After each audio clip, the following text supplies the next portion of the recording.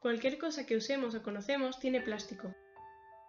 Esto se debe a que el uso de los plásticos es más barato y asequible para las empresas que otros materiales. Esto crea una cadena. Si produces plástico masivo, se vuelve más barato y se sigue produciendo más.